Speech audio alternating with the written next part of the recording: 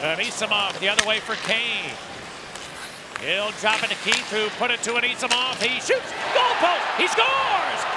Artem Anisimov snapped it by the stick side of Martin Jones. Good passing by the Hawks in the O-zone. And Anisimov, in his first appearance tonight, opens the scoring.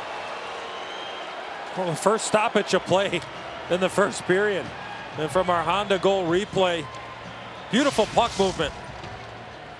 As Duncan Keith gets that puck to Artem Anisimov, and he's skating one way, Pat, and he fires it back the other way on Martin Jones. Beautiful pass there from Duncan Keith, and you see from our Honda goal replay, nothing but net off the post and in.